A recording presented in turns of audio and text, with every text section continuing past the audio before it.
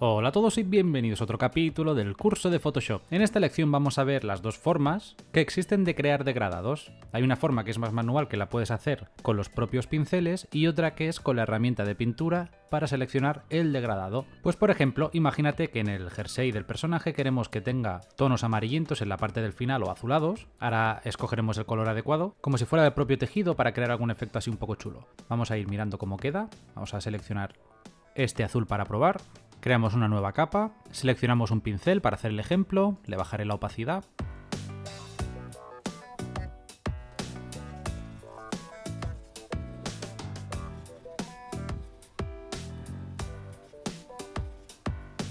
Si te das cuenta aquí pasan dos cosas. La primera que si quieres un efecto puro de degradado tienes que escoger otro tipo de pincel. En este caso quería exagerarlo y lo hago de esta manera para que quede de forma totalmente natural. Y la otra es que verás que me estoy saliendo fuera de la línea por lo que es muy complicado hacer correctamente el dibujo. Para ello lo que voy a hacer es, voy a ir deshaciendo los cambios para que lo veáis de nuevo. Para ello nos iremos encima de la capa, en este caso del jersey, ¿vale?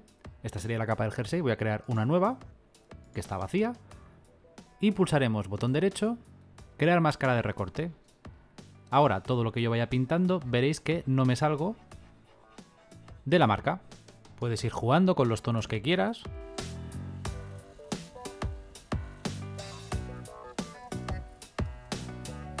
hasta que encuentres el que te interese. Por ejemplo, vamos a aplicarlo en el pelo. Sería esta capa de aquí, pues creamos una nueva, botón derecho, máscara de recorte. Vamos a ponerle un tono rosado en las puntas a ver cómo queda.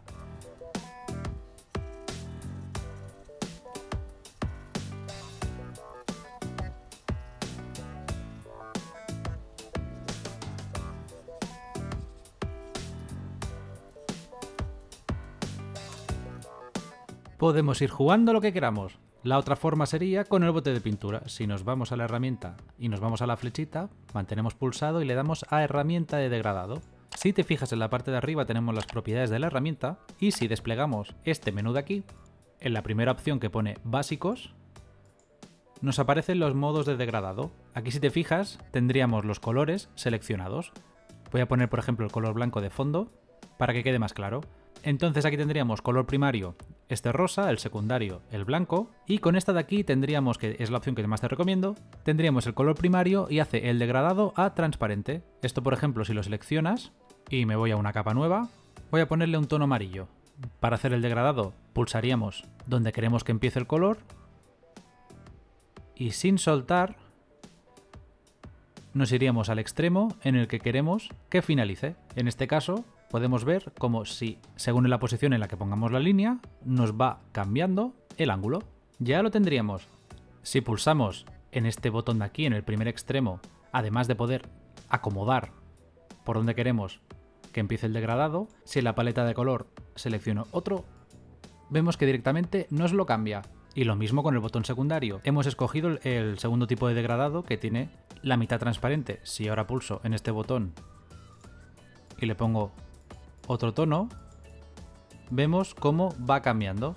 Esto también lo podemos aplicar con las máscaras de recorte. Si te acuerdas, hemos visto que podíamos pintar en una sola área sin tener que salirnos. Podemos hacer lo mismo con el degradado, al tono de la piel.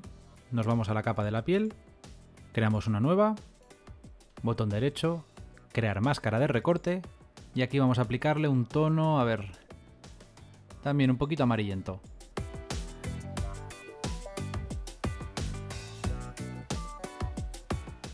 ¿Veis que puedo ir aplicando los tonos, en este caso los degradados que quiera, en la dirección que quiera? Si exagero el color, vamos a ponerlo rojo. Podéis ver que solo aplica a la capa de la piel. De forma muy sencilla podemos crear fondos para las ilustraciones, brillos o elementos en el propio personaje de forma muy simple y con un resultado increíble. Además que tenemos un montón de modos por defecto, por ejemplo en tonos azules, en tonos púrpura, que simplemente acomodando